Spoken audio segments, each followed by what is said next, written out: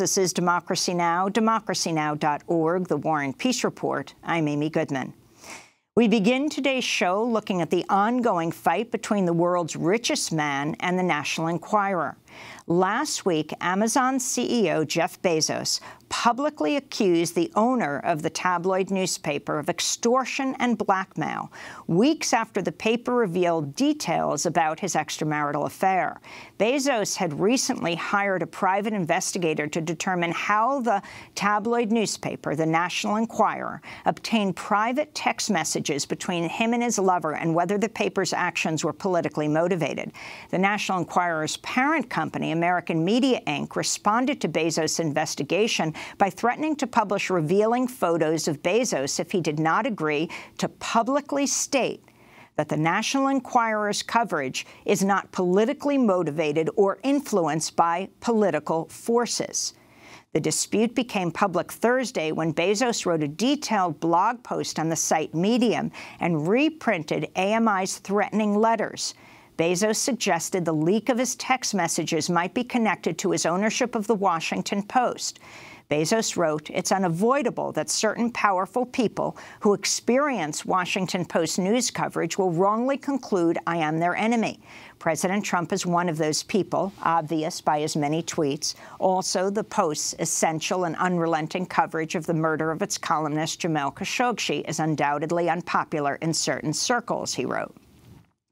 In his blog post, Bezos went on to write, for reasons still to be better understood, the Saudi angle seems to hit a particularly sensitive nerve, unquote. While the National Enquirer has had a long, close relationship with President Trump, the paper is denying its reporting on Bezos was politically motivated. On Sunday, Elkan Abramowitz, an attorney for National Enquirer editor David Pecker, appeared on ABC's This Week, hosted by George Stephanopoulos. Both Bezos and AMI had interests in resolving their differences. Bezos didn't want another story written about him or those pictures published. AMI did not want to have the libel against them that this was inspired by the White House, inspired by Saudi Arabia, or inspired by the Washington Post. It had nothing to do with it. It was a usual story that uh, that National Enquirer gets from reliable the, the sources. National Enquirer believes that these photos were newsworthy. Yet they're offering there not to publish them in return for a thing of value from Jeff Bezos, letting go of the legal liabilities, saying that it wasn't politically motivated. How is that not extortion? That is not extortion because all that AMI wanted was the truth. Bezos and Ms. Sanchez knew who the source was. Any investigator that was going to investigate this knew who the source was. It was not the White House. It was not Saudi Arabia. And the libel that was going out there slamming AMI was that this was all a political political hatchet job sponsored by either a foreign nation or somebody politically in this country. That was Elkan Abramowitz, an attorney for former National Enquirer editor David Pecker, the CEO of American Media Inc. He was being interviewed by George Stephanopoulos of ABC. While Abramowitz did not name the paper's source, the Daily Beast is identifying the source as Michael Sanchez, the brother of Bezos' lover, Lauren Sanchez. Michael Sanchez reportedly has ties to several people with connections to Donald Trump, including Roger Stone and Carter Page. We turn now to the Pulitzer Prize-winning journalist Glenn Greenwald, co-founder of The Intercept, who joins us from Rio de Janeiro, Brazil. His latest piece is headlined, Jeff Bezos protests the invasion of his privacy privacy as Amazon builds a sprawling surveillance state for everyone to see, eh, for everyone else. Glenn, welcome back to Democracy Now! So if for people who are not following every step of this case, the first part of this in the past few days, where uh, Jeff Bezos said he was not going to be intimidated, he would not be blackmailed or or, uh, or extorted, uh, with the general counsel of AMI, uh, America Media, which owns National Enquirer, writing a letter um, to Jeff Bezos' lawyer saying, you say we're not political, or we will release this trove of texts and photos. Uh, some people are calling for uh, Bezos to get the Pulitzer Prize and others for standing up to National Enquirer threatening them. Uh, your thoughts on this and take it from there. It's a very complicated story. Americans love to venerate billionaires, and so it's not a surprise that one of the first instincts was to herald Jeff Bezos as some sort of grand hero of a free press and, and open transparency. I do think one of the benefits of what he did could be important, and it's perhaps something that it takes a billionaire to do, which is to kind of remove the stigma that surrounds adult consensual sex in the United States. Whenever there's a sex scandal, there's this sort of adolescent, prurient interest on the part of the media. People love to sit in judgment of other people. And he essentially said, "I don't I, look. I prefer that you not publish naked photos of me and my mistress. But if that's what you're going to do, I'm not going to be bullied and intimidated by you. I'm not going to be ashamed. And to the extent that in the future we can be a little bit more mature about the fact that adults do in fact have sexual relations with other adults and that it's none of our business when they do, as long as it's consensual and with other adults. I think this could be a positive aspect to the story.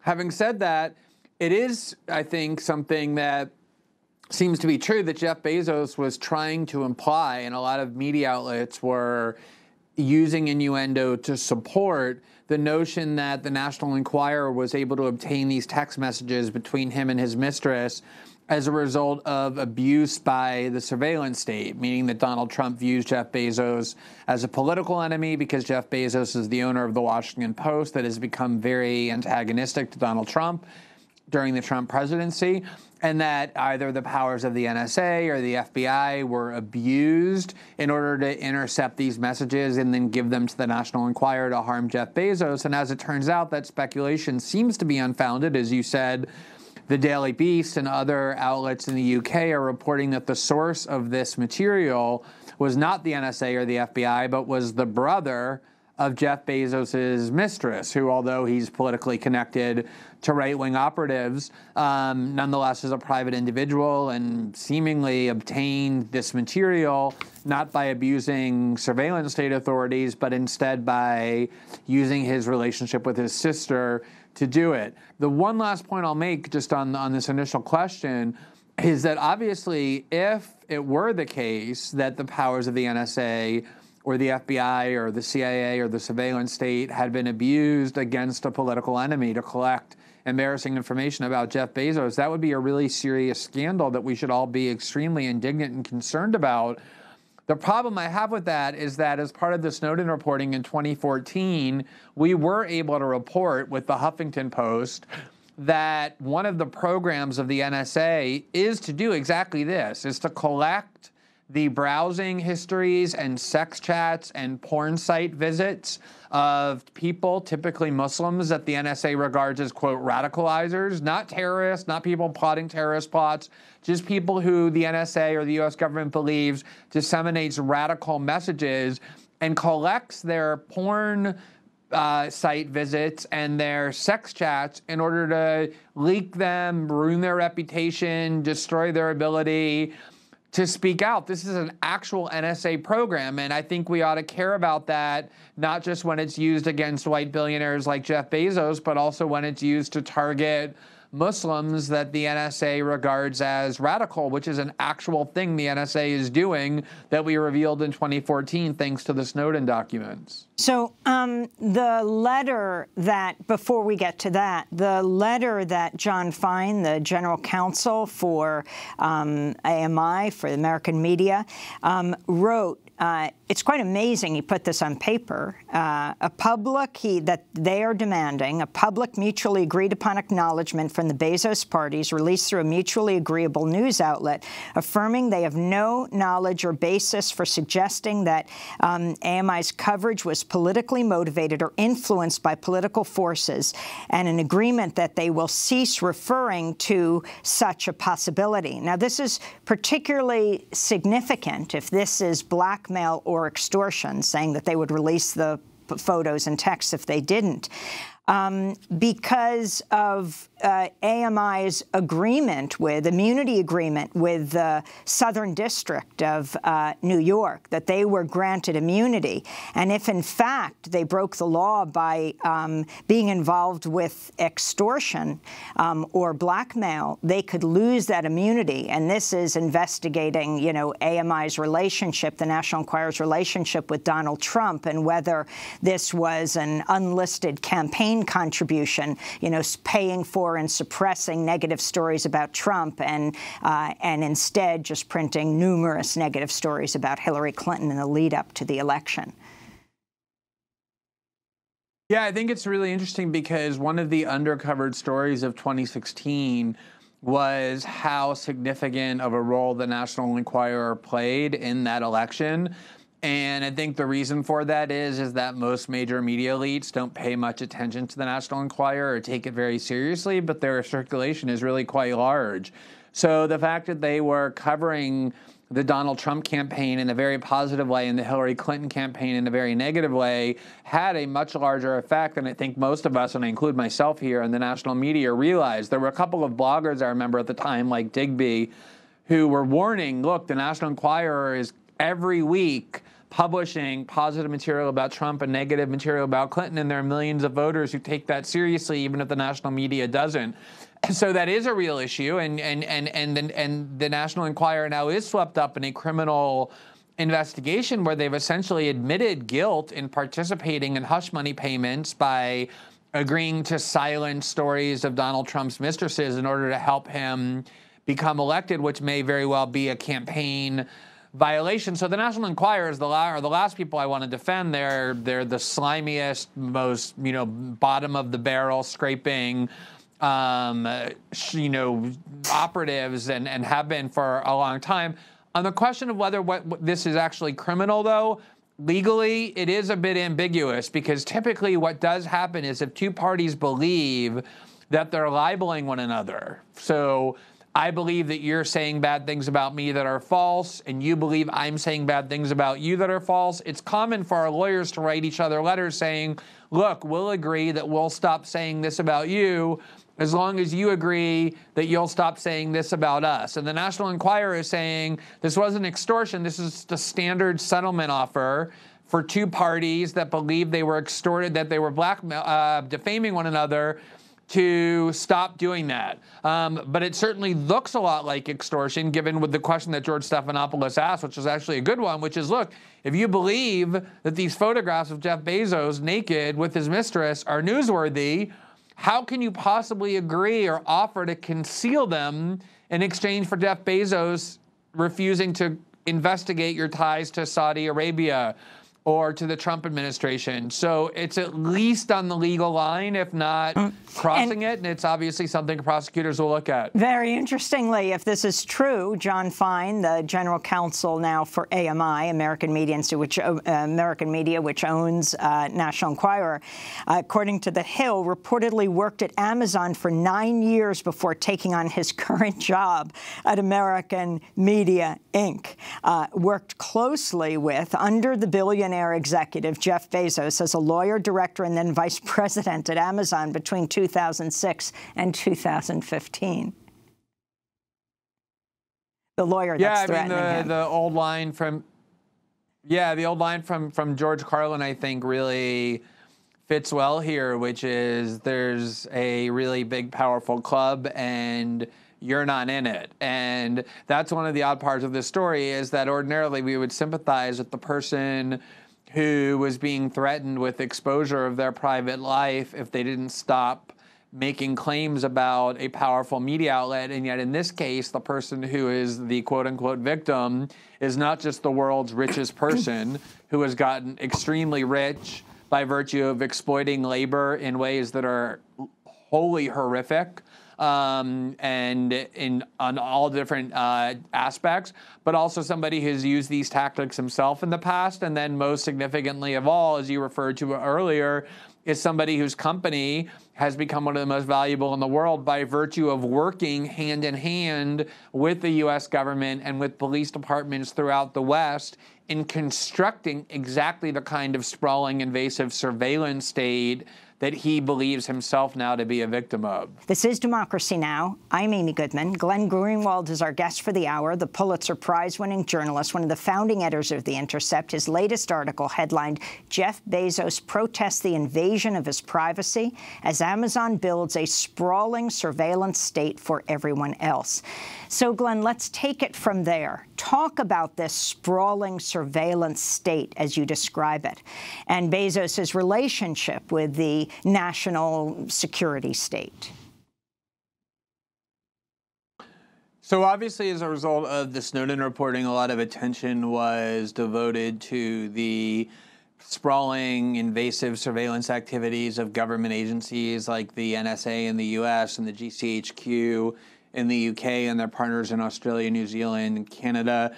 And less attention has been paid, or at least was paid as part of that story, to the private corporations, the Silicon Valley giants, who play a crucial role in partnering with these government agencies to construct that surveillance state. And some attention has been devoted in, in recent years to the role both Google and especially Facebook are playing in creating a, a ubiquitous surveillance state, but much less so for Amazon, which has done a really good job of rebranding itself in this very kind of unthreatening and benign way as a deliverer of books and other merchandise, when in fact, one of the central components of Amazon's business that has made it one of the most valuable companies in the world are extremely lucrative contracts with the CIA, with the Pentagon, with the Air Force, with police departments all over the Western world, not just in the US, to use technology to enhance the ability of governments and police forces to engage in surveillance. They've created a, a, a, facial recognition software that they call Rekognition with a K that can scan millions or thousands of faces in crowds and identify them to enable police to find people they're looking for. They've developed software algorithms to determine somebody's accent so police forces can. I'm sorry? This is Rekognition, R E K O G. Re- exactly, exactly. And, and the ACLU has warned that it's one of the most threatening and potentially menacing privacy invasive uh, technologies yet because it destroys the ability to be anonymous even just on the street. It allows the police and the government to just identify every person where you are when you're just walking in public. That's an Amazon product. Um, they've developed uh, apps that enable uh, police departments to allow citizens to report suspicious people so that the information is stored not with the police, but with Amazon Cloud Services.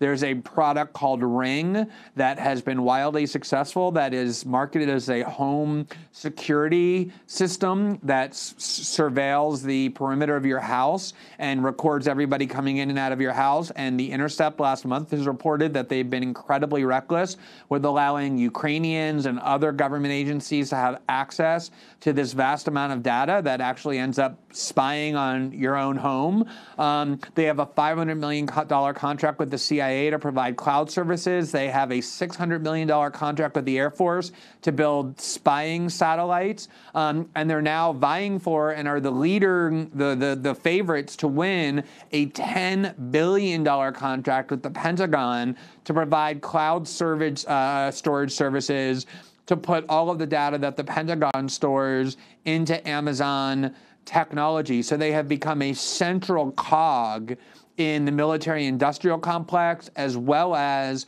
the invasive surveillance state um, that Jeff Bezos spent a week trying to imply, falsely it turns out, was misused in order to invade his privacy.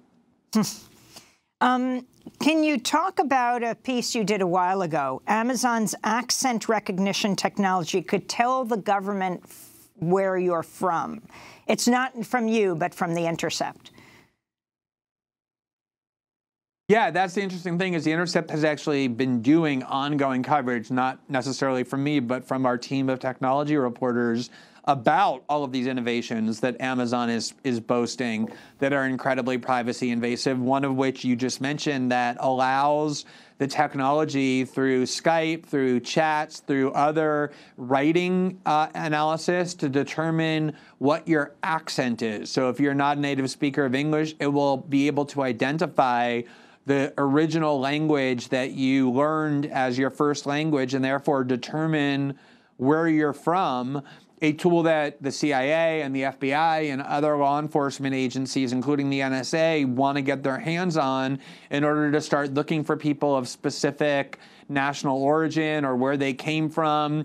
ICE is particularly interested in that technology. And again, the ACLU issued a really vehement warning about this particular product, saying that it will almost certainly target marginalized groups, vulnerable groups, not just people who are here on an undocumented basis, but people that the government are searching for based strictly on national identity so that you can't even type on your computer or speak on the telephone without Amazon enabling the government to analyze where you're from. You also wrote a piece in October um, saying that um, Bezos's company, um, you said just last October, Bezos's company Blue Origin won a $500 million contract from the U.S. Air Force to help develop military rockets and spy satellites. Bezos personally thanked them in a tweet proclaiming how proud he is to serve the national security space community. This is what's really frightening Amy, is that Silicon Valley is producing companies and the billionaires who control them whose wealth and power are unprecedented. Jeff Bezos and Mark Zuckerberg and the people who control Google have more power than almost every nation state, if not more power than all of them.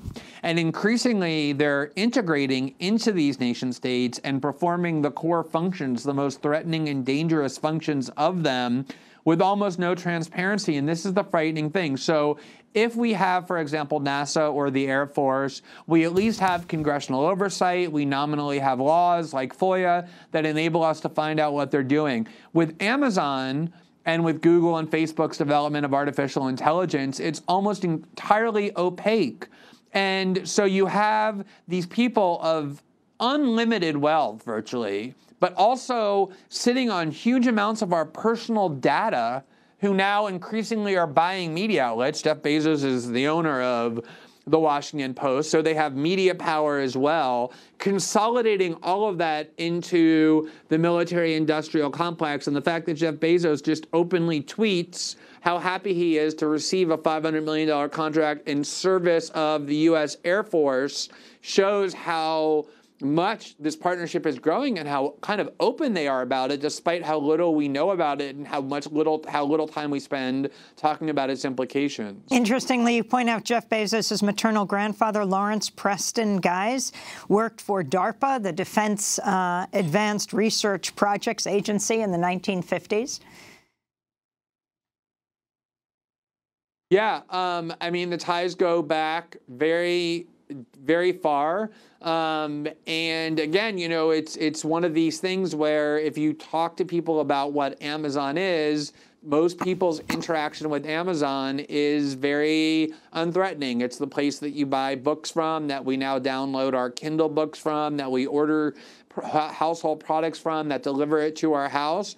Um, but just like Google, which we only interact with as kind of the free search term that in reality, every time we use, its real business is unseen to us, which is to analyze how the human brain functions so that it can replicate and then even improve upon brain functioning in order to create artificial intelligence that's more uh, potent than the human brain. That's its real business that's hidden. The real business of Amazon also remains hidden because of the power of their branding and marketing. Glenn, we're going to break again, and then when we come back, well, you're in the news today, and it involves a controversy with Ilhan Omar. Um, we're also going to talk about Brazil, hopefully get to Venezuela. Glenn Greenwald, Pulitzer Prize-winning journalist, founding editor, one of the founding editors of The Intercept, and we're going to link to his piece. Uh, Jeff Bezos protests the invasion of his privacy as Amazon builds a sprawling surveillance state for everyone else. Stay with us.